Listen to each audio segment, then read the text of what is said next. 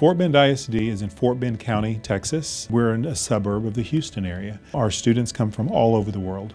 Nearly 100 languages are spoken in homes in Fort Bend ISD. And students also range in economic status. From the wealthiest of the wealthy, we have $12 million homes in our district, all the way down to homes with no running water. And we're recognized to be the most diverse public school district in the nation. Diversity is one of our greatest strengths. It's also one of our greatest challenges. We have about 74,000 students. We have 11 high schools and 74 campuses total.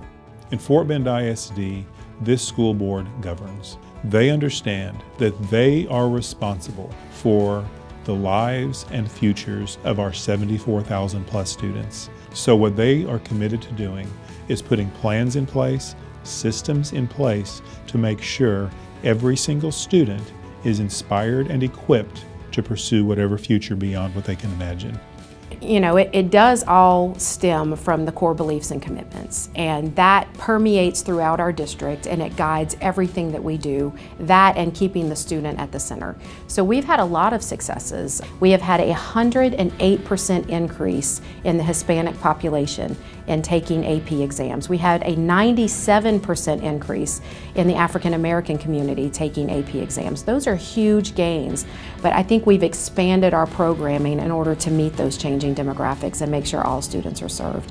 At school, I had the opportunity to join DECA, do business information management where I got to be certified as a Microsoft specialist, so numerous opportunities to succeed, to learn new skills.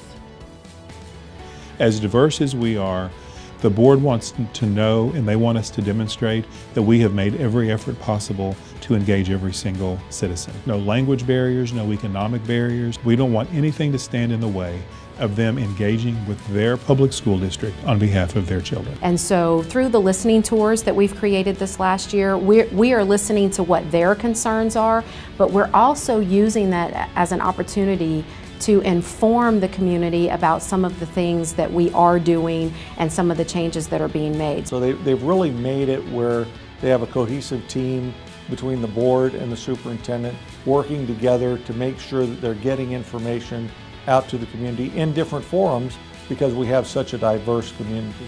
Parents are very involved. So when you have parent involvement with the school board who is caring and who's willing to listen, that feels wonderful.